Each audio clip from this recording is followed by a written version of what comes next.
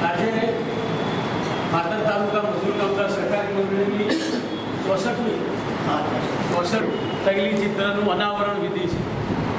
એ બે કાર્યક્રમમાં આપણા સૌના આદરણીય મોરબી શ્રી અમારા પરમ મિત્ર છતાં પણ કાર્યક્રમમાં પધાર્યા છે. આપ સૌ વતી હું વ્યક્તિગત મારા વતી એમનું હાર્દિક સ્વાગત. ચાલુ થઈ ગયું પરંતુ આપણી લાગણી અને માગણીને માન આપીને પધાર્યા છે. સરકારી આગેવાન નટુભાઈ બ્રહ્મભટ્ટ આમ તો અમારા પૂજ્ય પિતા છે. અને આપણા દેવુસિંહજી વર્ષોથી ઓળખે છે.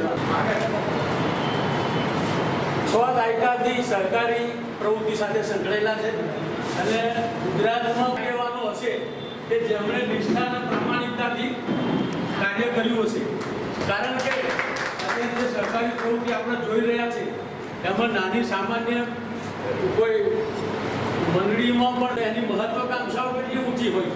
પરંતુ કોઈ કોઈ નટુ કોઈ બ્રહ્મટે આટલા પરંતુ એમણે પોતાનો અમૂલ્ય સમય માત્ર ને માત્ર સમાજ સેવામાં જ પાડ્યો કારણ કે, મોરબી આપણા વર્ષો સુધી અમને એક આજ્ઞાનુકીત સેવક તરીકે અમને ફરજ બજાવી છે કે અમનું ઓઢાડીને સન્માન કરે એવું છે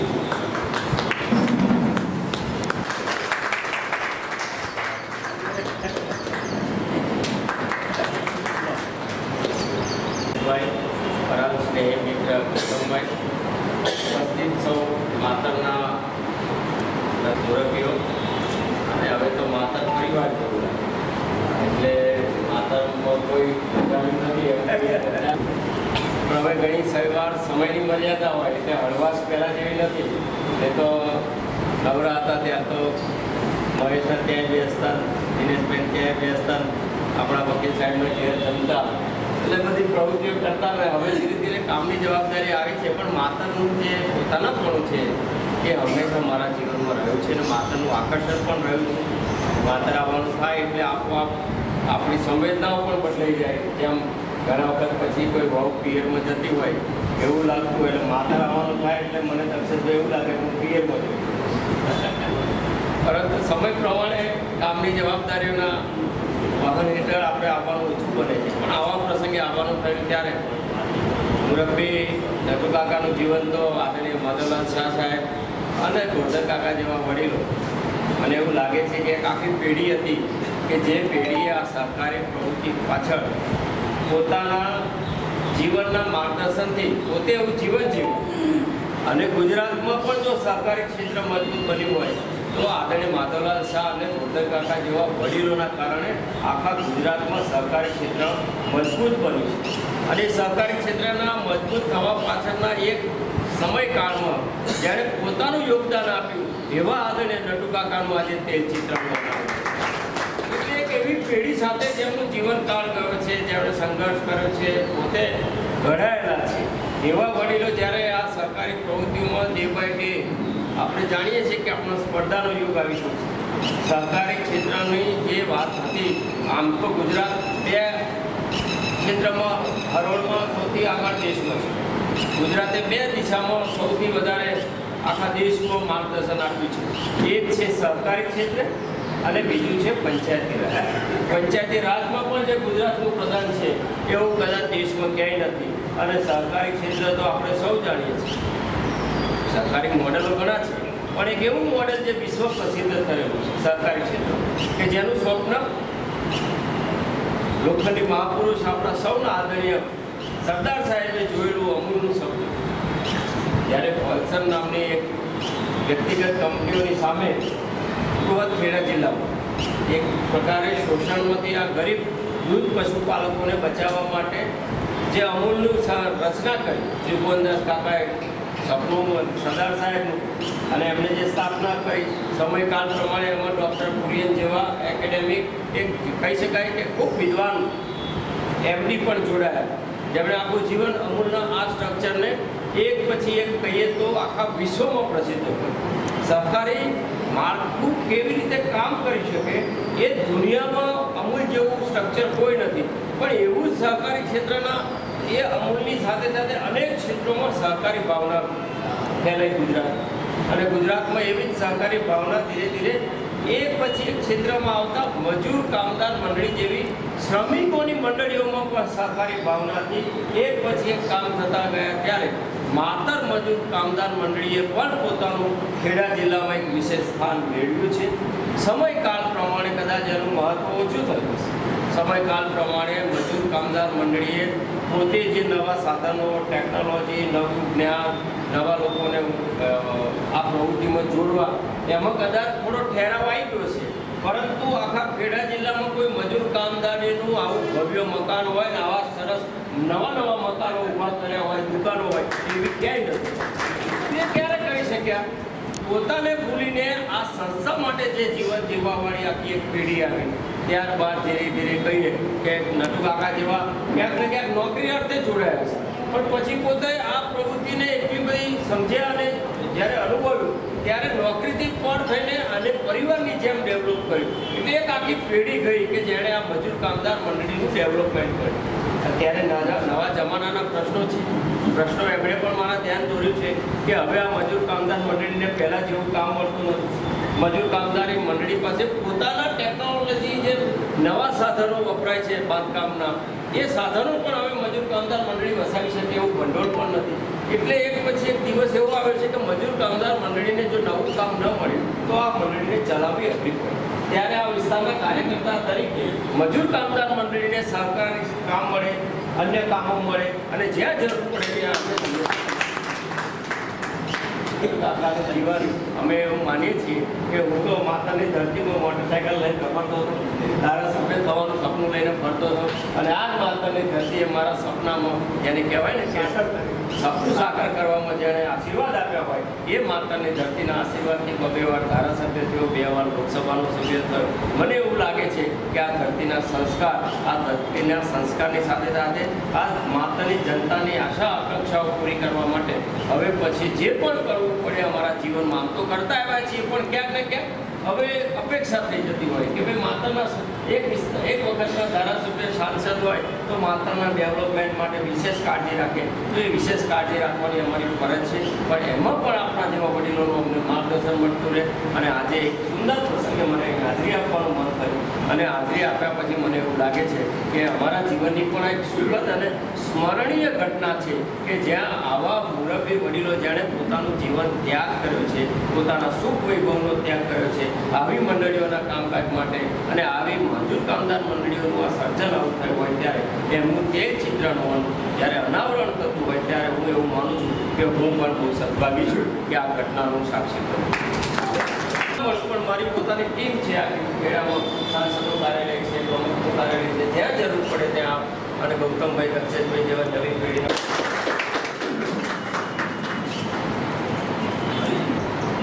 મંડળીના ચેરમેન શ્રી, સ્ટેજ ઉપર બેઠેલા આમંત્રિત મહેમાનો અને સભાસદ ભાઈઓ, બહેનો, આજે જે આ મારા માટેનું જે આ બધાએ કર્યું છે અને મારું જે સન્માન કર્યું છે, એ સન્માન ખરેખર મારું પોતાનું સન્માન છે જ નહીં. છતાં મને આ સેવા કરવાની તક જે મળી, એનો બી ભગવાન પાસે હું ખૂબ આભાર માનું છું. અને મારી પર પ્રમુખ સ્વામીની અસીમ કૃપા હતી આ મંડળીમાં. અને આ મંડળીમાં પ્રમુખ સ્વામી મહંત સ્વામી બધા સંતો પણ અહીંયા પધાર્યા છે, આ સંસ્થામાં. અને એમના આશીર્વાદ. અને માધવલાલ શાહ ગોરધનભાઈ રામજીભાઈ નાથાભાઈ રમણભાઈ અમ- અંબુભાઈ ઈશ્વરભાઈ, ગોવિંદ કાકા અને વલ્લભદાસ મિસ્ત્રી, આ ચાર પાંચ જણાએ મને સંપૂર્ણ સહકાર આપેલો. અને આ મંડળી જ્યારે હું અહીંયા આવ્યો ત્યારે વીસ હજારના જ કામ મળતા હતા. પણ સરકારમાં મેં રજૂઆતો કરી આટલા વર્ષો સુધી. અને અત્યારે તેર લાખ સુધીના કામો મળે મંડળીને. ત્યાં સુધી હું એને રહી ગયો છું. આખા ગુજરાતના ખેડા જિલ્લાના આણંદ જિલ્લાની બસો મંડળીઓ છે અત્યારે એનો પિસ્તાલીસ વર્ષથી પ્રમુખ છું. અત્યારે ચાલુ જ છું પ્રમુખ એનો. અને ગુજરાત રાજની સાડત્રીસો મંડળીઓ છે. એનો પણ હું પ્રમુખ છું. પણ મને અત્યારે છાસી વર્ષની ઉંમર મને છ્યાસીમું વર્ષ બેસે છે. એટલે મેં નિવૃત્તિ એમાં લઈ અને એનો ડિરેક્ટર તરીકે હું રહ્યો છું. અને એમાં પણ હું સક્રિય છું અત્યારે. અને સરકારમાં રજૂઆતો કરી જ જઉં છું. અને આ મંડળી તો પહેલાં કેવી હતી કે સામાન્ય મંડી હતી. અને આ મંડળીનો વહીવટ પણ બરાબર ચાલતો નહોતો અને ગુરુજી અને એમણે બધાએ મને હું પીડબ્લ્યુમાં નોકરી કરતો ત્યાંથી મને રાજીનામું અપાઈને અમારા આવે આ સંસ્થા. અને આ સંસ્થા આપણી મને મને જ આ કામ ગોગર કાકા બદલે અને એમાંથી મેં શરૂ કર્યું. અને એમણે મને સંપૂર્ણ સહકાર આપ્યો. એટલે મેં છે તે આને ડેવલપ કરીને આનો અભ્યાસ કરવા હું વિસનગર ગયેલો, વિસનગર મંડી મોટી ગાય આખા ભારતમાં મજુ મંડી એટલે મેં એમાંથી લઈ અને આને ડેવલપ કર્યું. અને અત્યારે આ મંડી જબરજસ્ત છે. અત્યારે સરકારના કામો મળતા નથી. એટલે પોતાના ભાડા, મકાનનું ભાડું અને વ્યાજ, વ્યાજમાંથી ચાલે છે અત્યારે. એટલે ખાસ તો મંડળીઓને એક જ પ્રશ્ન છે ગુજરાતની, કે સરકારશ્રી એના નિયમને જીઆર પ્રમાણે એના કામો આપે તો આ મંડળીઓ અત્યારે ચાલે. ત્યાંથી કે આખા ગુજરાતની મંડળીઓ મારી પાસે ફોન ઉપર આવે છે, કાગળો પણ આવે છે કે તમે રજૂઆત કરો. એટલે મને તો સરકારે બહુ જ લાભ આપ્યો છે કે મેં છે તે નીતિનભાઈ સાથે પહેલાં મેં સંમેલન બોલાવ્યું આખા ગુજરાતનું. બધું મંડળીનું ગાંધીનગરમાં ત્યારે મને એક લાખ રૂપિયા અને ત્યાં અમે બોલી બેઠા હતા અને મને કહ્યું લાખ રૂપિયા વધારે પછી હમણાં માતા આવ્યા હતા અને મેં એમની પર્સનલ વાત કરી તે દિવસ. ત્યારે મને આ પાંચમાં, પાંચમાંથી તેર લાખ રૂપિયા ગયા મને કહે છે તેર લાખ રૂપિયા ગયા સારું. તો અમે દસ હજાર રૂપિયા તેને આપીએ છીએ. અત્યાર સુધીના બોનસ જે આપવાનું કે અત્યાર સુધી મેં ઘર, એનો ઘર ચાલે એવી બસો આઈટમો આપી છે.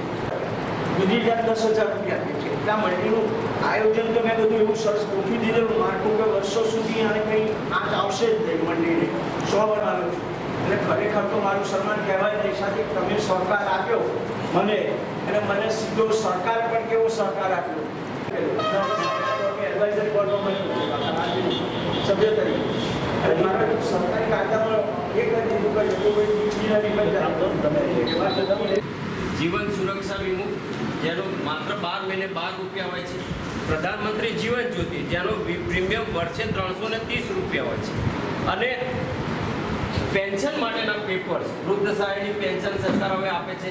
તમારે જેવા જે ઉંમરલાયક થઈએ અને આરોગ્ય, આયુષ્યમાન ભારત કાર્ડ. આ બધા આપણા જેટલા સભ્યો છે, એ બધા સભ્યો પાસે પ્રધાનમંત્રી જીવન સુરક્ષાનો વીમો હોવો જોઈએ.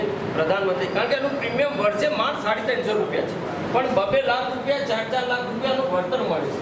એટલે તમારી મંડળી ના આપી શકે. તમે દસ હજારથી વધારે કંઈ આપી શકતા નથી. માણસ ગુજરી જાય ત્યારે. જે રીતે તમે આ હિસાબમાં બતાવ્યું. ત્રણ જણને આપ્યા. પણ જો તમે એ એ જ મેમ્બરનું પ્રધાનમંત્રી જીવન જ્યોતિનો વીમો હોય, તો એમને બે લાખ રૂપિયા સહજ મૃત્યુ થાય તો પણ. કારણ કે એ તમે ચિંતા રાખી કે આ જે ભારત સરકારની ત્રણ મહત્વની યોજનાઓ છે, એને તમે ભૂલ્યા વગર અને હું એવું માનું છું કે આ સાધારણ સભા છે, કોઈ સભ્ય એનો ઇનકાર નહીં કરે કે વર્ષે સાડી ત્રણસો રૂપિયા, કારણ કે અકસ્માત થાય તો બે લાખ રૂપિયા મળે. મેં મેં મારા હાથે ચેક આપ્યા અકસ્માત થાય બદ ઘટના છે. આપણે માણસને તો લાવી શકતા નથી. પણ જે પરિવારમાં મેં બે લાખ રૂપિયા આપ્યા છે ને, એને કેટલી રાહત થાય છે મને ખબર છે. અકસ્માતે મૃત્યુ થવા એટલે આપણી મંડળી ધ્યાન રાખીને પ્રધાનમંત્રી જીવન સુરક્ષા વીમો, જીવન જ્યોતિ વીમો બે બે જઈને સાડી ત્રણસો રૂપિયા, બરાબર? આયુષ્યમાન ભારતનું કાર્ડ બધા પાસે હવે હોવું છે જે આપણે મા કાર્ડ હતું, એની મુદત બે લાખની હતી કે બે લાખ સુધી સરકારી સહાય મફત થતી હતી. એના બદલે હવે પાંચ લાખ થઈ છે. એટલે એ કાર્ડ પણ બધા પાસે હોવું જોઈએ. એટલે પ્રધાનમંત્રીની આ મહત્વની યોજના સમાજ જીવનમાં હવે નાના નાના દુકાનદારોને પણ પેન્શન આપવામાં આવશે. નાના નાના દુકાનદારો ઉપરાંત જે વૃદ્ધ સહાય પેન્શન છે એ પણ આપવામાં આવશે. અને આગળ વધીને જે કિસાન સન્માન નિધિની વાત હતી કે જેને આઠ વીઘા સુધી આપતા. બે એકર. હવે આપણે એનો વ્યાપ ફૂલ કરી દીધો છે. એટલે કોઈ પણ નામે ખેડૂત એને વર્ષે છ હજાર આપવામાં આવશે. અને હું એવું માનું છું આ જે બે હજાર ચાર મહિને નાખી છે ને આવનારા વખતમાં એમાં પણ વધારો થશે. સરકાર તો એવું વિચારે છે કે નાની મોટી આ કીટો આપીએ સબસિડીઓ આપીએ એના કરતાં એ એમાઉન્ટ ગરીબ ખેડૂતો સુધી સાચા અર્થમાં પહોંચાડ્યું હોય તો એના ખાતામાં નાણાં નાખી દેવાનું. તો કોઈ એવો તમારો શ્રમિક એવો ના હોવો જોઈએ. કારણ કે બધા ખેડૂત તો છીએ જ ને. તો બધાનું એકાઉન્ટ અને કિસાન સન્માન નિધિ સાથેના તમારા ફોર્મ ભરાઈ જાય. એટલી ચિંતા રાખજો. આપ સોનો બીજા લાભાર્થી લાભાર્થી ક્યાં પંદર બસ બધાને હવે આવી ભારત માતા કી બહુ સરસ ફોટો ચલો હે